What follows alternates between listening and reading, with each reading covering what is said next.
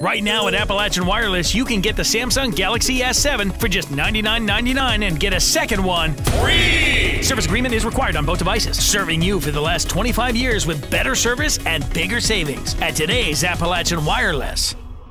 Numerous races will be decided with next week's general election, but one race here in Letcher County will take a while to resolve because no candidates filed to run.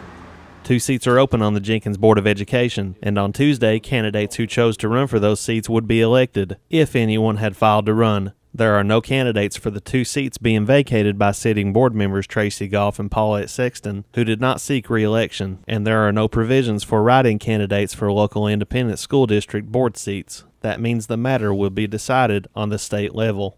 In the next couple of weeks, you'll see an advertisement in a local paper.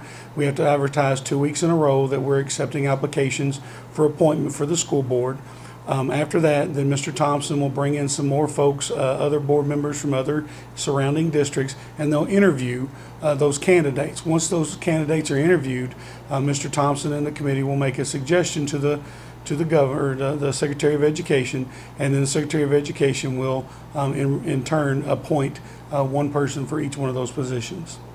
The issue puts the school district in an interesting position. Superintendent Mike Jensen said board business can continue with two positions open, but those seats won't open until January. He said the school district will have some involvement in the process, but the decision of the board appointments will be with the governor's office. We really don't know um, what's going to happen here. Um, you know, it's totally uh, out of our hands. Our only uh, our only responsibility is to advertise the position and to accept the applications and then pass those on to Mr. Thompson. Jensen said anyone living in the school district has the opportunity to be considered for the positions. They swing by here, pick up an application, fill it out, bring it back here, and then we'll forward that on to, to Mr. Thompson.